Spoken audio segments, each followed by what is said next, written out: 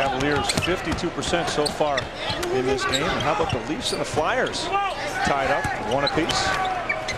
The game that is of paramount importance to the Raptors sporting brethren is Tracy McGrady with a nice layup through the middle. Butler's strong. He's a physical player. When he puts that ball on the floor and goes to the hoop, you've got to be careful.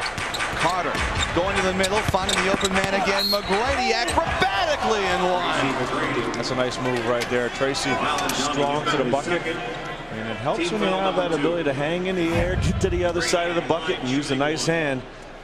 And Vince Carter attracting the defender, and then Tracy doing a real good job there, using the glass and his body to shield the defender. Before the game, they boo him putting on his uniform. That's how much they dislike Sura. Sura tried to make the steal, couldn't.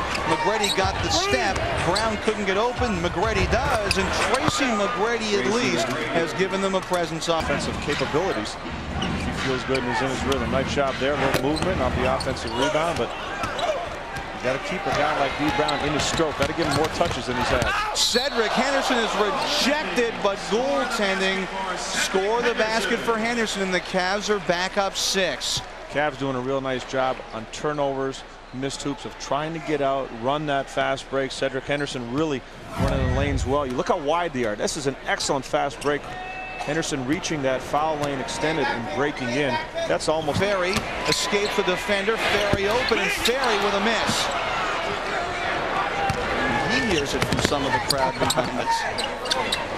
Hear pretty much everything here. Oh, Tracy McGrady found the open spot and Dee Brown found him. And see, good things happen when you run the court and you're patient. Dee Brown was patient, waited for Tracy McGrady to get down court.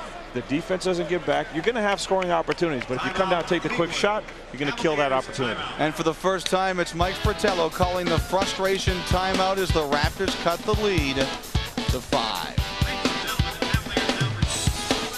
Does something.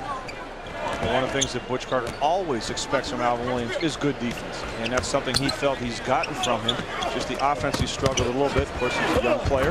And Doug Christie doing a nice job inside. Again, pretty much all his points have come from under for him there. Raptors can't keep it for last shot. There's an eight-second differential between the game clock and the shot clock. McGrady with room. McGrady will take that jumper, and McGrady will hit it to cut the lead to four. Cleveland can hold. Posting against Brown. Up ahead to Sura. Sura with two on the shot clock. Throws up a wild one, and it didn't go. McGrady pushing the other way. One of the rare chances the Raptors have had to run, and Reggie Slater finishes. Well, they forced the issue right there. McGrady getting that ball in the middle of the court. Sura lost the ball, forced a bad shot up, but the Raptors coming right down by McGrady pushing it up, and then Reggie Slater. You know, we talk about how good things happen when he comes in the game. Didn't get that last play where he went to the basket, thought he got fouled, didn't get the call. This time just running the court, making an opportunity. Trying for a stop. Double team against Person. The open man Butler cutting towards the middle. Butler loses it on the floor and the Raptors come up with it. McGrady racing against Anderson and he takes advantage, cutting the lead to four.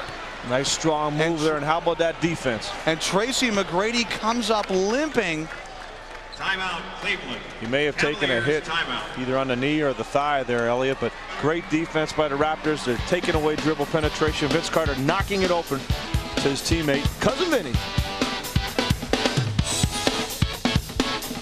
Well, theirs. I'll tell you what, what a long flight to Philadelphia it would be. The Raptors face the Sixers tomorrow, but if they were to lose this game, knowing that the Bulls beat the Hornets, that would really sting. And there's McGrady making something happen.